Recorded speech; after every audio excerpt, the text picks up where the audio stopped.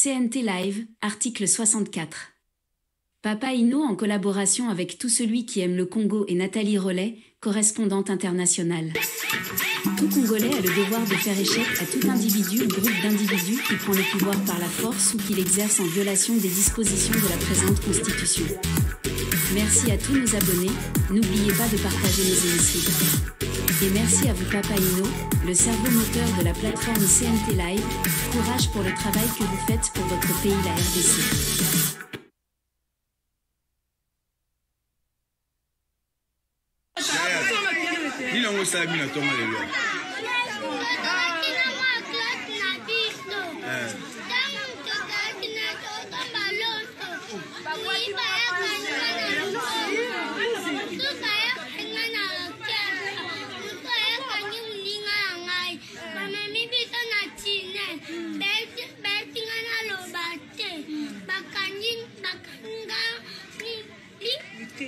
kitanji na munaka na mik babi naloba te apwa batindikanga kuna apwa babi moninga abamemi ye na kati ya motuka bato mosusu bazalaki na bana misusu eh, bambele bana kaka ebanaakoti baaboma na bato bakotisi bino na kati ya motuka te bakotaki moninga yanga na kati ya motuka ayo nde babwaki yo kuna so moninga na bikisi yo boye abandaki kolega na tinyali wana akwabi u oh, yo mwana naaloba te pemba mo afongolinga miku akoafongolinga na munoko akwabi kima mbangu kotala nsima te eh. amamoni mama mabe asunga yo wana bozalaki kote nini tozalaki ka na fawa na fawa na veni fawa eh.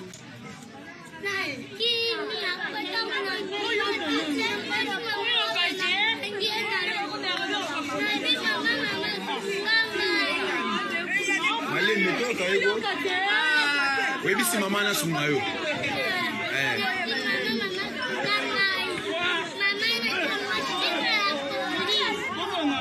Eh, mama na bina ke tozona na polise ah,